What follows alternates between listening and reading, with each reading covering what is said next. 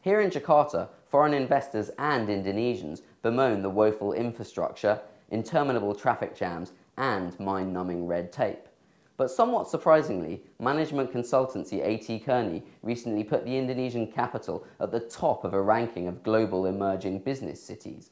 I'm here with John Kurtz, the Asia Pacific head for A.T. Kearney, and one of just a handful of regional executives who choose to be based here in Jakarta rather than better connected Singapore or Hong Kong.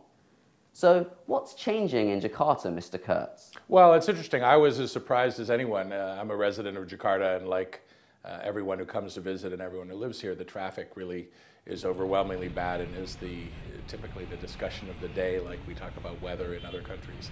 Um, but this, this study was a global study of 35 cities. This measured which cities are most likely to make up ground over the coming years. Um, and when you start to put that sort of view on it, Jakarta makes a little bit more sense.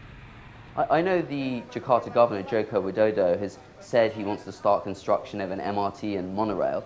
But Jakarta governors have been saying that for decades. What makes you think any of these plans to improve the city are actually going to come off this time?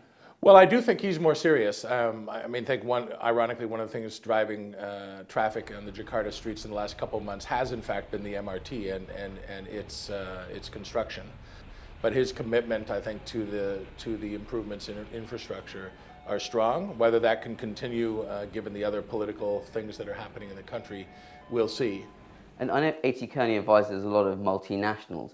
Do you expect more regional executives to follow your lead in the next five to 10 years and move their regional base from Singapore, Hong Kong, Kuala Lumpur to Jakarta? I've seen over the last, I would say, 18 months, more global boards visiting Indonesia than I've ever seen. Um, and so whether they locate their headquarters here, that tends to depend on where executives want to live and it's still, uh, you know, it's, it's still got its challenges in that sense. But clearly Indonesia has arrived on the map of global corporations.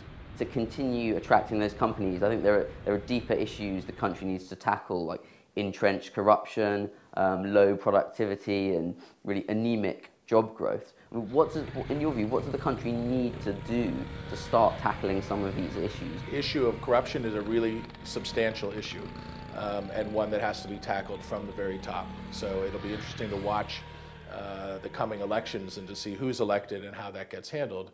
Because it isn't just about corruption slowing things down, it's about fundamentally the drive to want to change things. On the corruption issue, there have recently been a lot of high profile convictions, including most recently the former head of the oil and gas regulator. I mean, do you take this as a sign that the country is moving ahead in the fight against corruption? It is important that, that some of these cases are being, uh, are being discovered and being prosecuted, and, and, in fact, that, that people are going to jail. Uh, I think it reveals a system that's out of control and a system that needs to be you know, wholly changed. They're still picking and choosing who they, who they go after, and I think, I think there are um, some interests that are still being protected. But as, as they go, that's giving the electorate confidence. I think it's giving businesses confidence. Indonesian economists like to joke that this country has a lot of potential and always will. How important do you think July's presidential election will be in determining whether Indonesia can finally live up to its grand ambitions?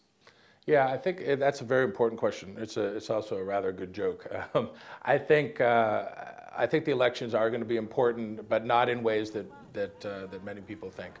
I think there are some analogies uh, that one can draw to the uh, the hope that the U.S. had in the hands of Obama that you see with Indonesia's hope and hopes in Jokowi. And I think it's also dangerous in the same way. With, with great hopes comes great disappointment when, when the entrenched interests sink in. And, and looking beyond Indonesia, the 10 nations of Southeast Asia say they want to move to an EU-style economic community from next year.